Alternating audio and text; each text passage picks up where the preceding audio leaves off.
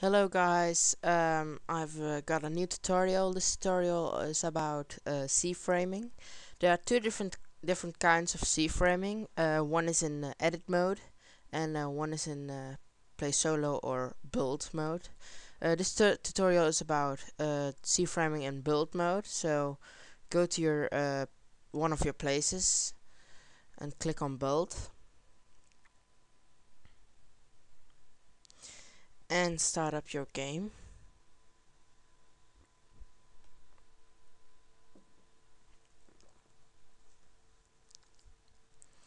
Okay, when you're in your game you need to uh, delete all your gear you have got. So you go to your explorer, players and then your name, backpack and delete all your gear and other stuff. Okay. Um, I have got C-frame tools and you can get them in my models. They are free. Um, if you get them and uh, place them in your game, you will get these tools. Okay, I'm making an example.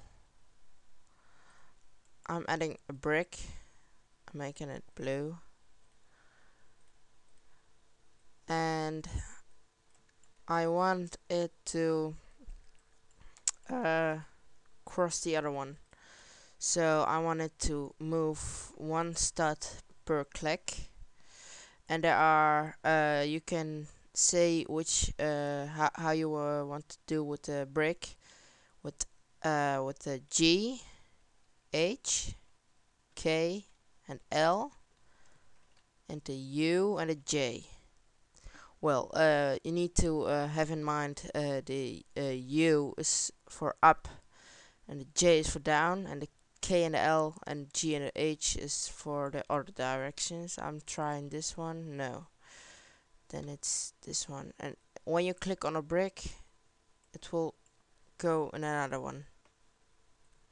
But you need to have it anchored because if you uh, do not, this will happen what happens when you C-frame it. And there is a smooth uh,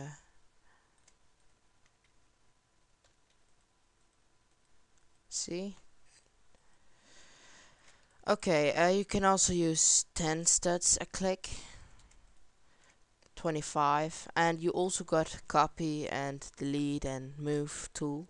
So uh, that's easy. And um, uh, I've got a precise rotate tool to uh, rotate your bricks. Um, uh, directions are uh, Z, V, X, T, and Y, U. I'm doing U now. You can rotate your brick, and then you can just C-frame it into your other brick. Now you got a nice V or something. So this is how you basically uh, C-frame with the build. The other C-frame uh, way is a bit harder, but you can uh, use it in edit because tools won't work in edit. And if you want to build an edit and you want a C-frame, you need to use the other way. Um, next tutorial is the C-frame uh, in edit, so hope to see you next time.